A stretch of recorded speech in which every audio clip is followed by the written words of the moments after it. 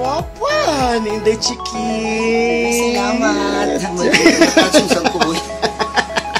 Kakaloka. Look down na kanina sa pilok, Inday Chiki. Ka- oh, dili- O sa'yo mga tinanron nga event, ma'am. Kanang karong oras sa kadlawon man jud no pag ka na mo ating kog kasal muluhod kog kasal ka. Uy, kaglahon yun di ay. Oo, kay mao na mo na nga tanawa ko mit parties o tig-arrange ako sa nila social. Ang sakit-sakit sa kaslon, nga nung nga naman po ang makagbuhok. kay mao man ko na color coding kanang Ah, uh, for a change ko no change. nga ka ba Asa man- asa, asa man ang kasal, oh. adto sa Queen Queen City mamuto uy bak makaingon ko magkasal na siya or Oh, kasal or lubong Kaya sa di ningon man ko lang ang invitation nga at kita kay muluhod ka daghan ba sa kabawaan ni so Oh. at the end of the day asa asa ko ni paingon sa Oh, oh. sa lubong or sa kasal Kay ang ang kuan asa na i-held sa Queen City Okay, usa na Queen City. Juti, material magud na uy niya Tingin ako bitches. Makaingon ka nga hangin-hangin karon, kita nakita mo sa background.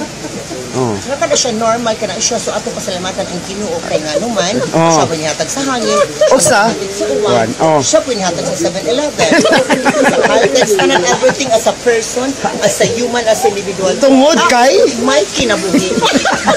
ang mga pangutana sa pagkakaroon, Oh. pangandam na mo sa iyong tagsatag sa nga kaugalingon. Kay? Kay nga naman. Oh, Sa kasod ang uwan. Oras, minuto ni kusog ng uwan. Nakita na sa background, oh. Oh my God. Oh my God. Ah, Julius, Padayon, padayon. ko nga. Oh. Grabe ang Padayon, Ano bang- Grabe na ang hangin. Oh,